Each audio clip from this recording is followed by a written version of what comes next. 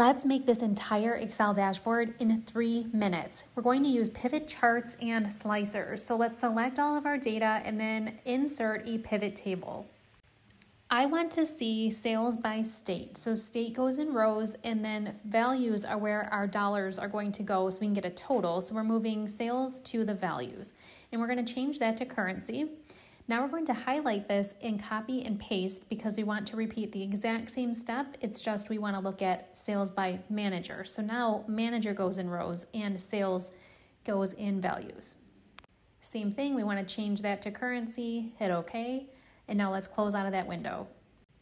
Next, we want to insert our actual pivot chart. So go up to Pivot Table Analyzer, and then let's select our chart.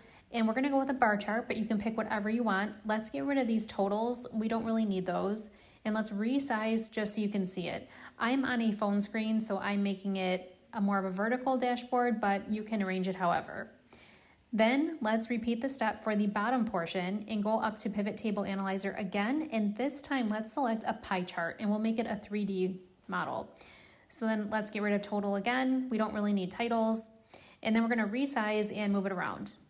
Now the next step is where we get our buttons from or our slicer. So let's go up to the top and pick filter and then we're going to select the slicer of state and move that up to the top and then repeat that exact same step, filter and slicer, and then we're gonna pick manager this time.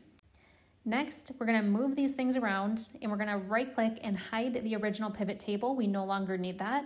And let's move our charts in place. I'm going to do a little bit of an alignment here off to the side and resize this a little bit. Now it's looking good, but we need a title. So let's go up to the top and type in sales dashboard.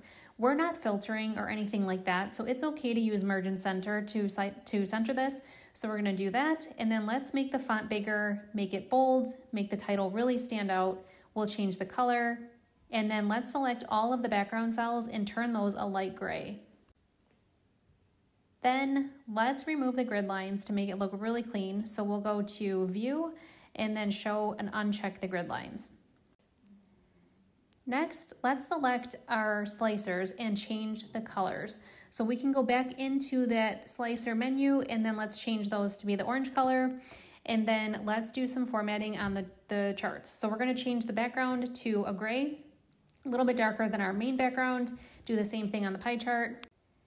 Then we're going to close out of this and let's right click on our bars. I find it easier to right click because sometimes when you click on them, they will only do one at a time. We wanna change all of them to a dark gray. And then let's also change the gap width. If we reduce that, it makes the bars wider. Now let's test this out. The cool thing here is that you can pick whichever state, whichever manager you wanna see, and it just takes a second to update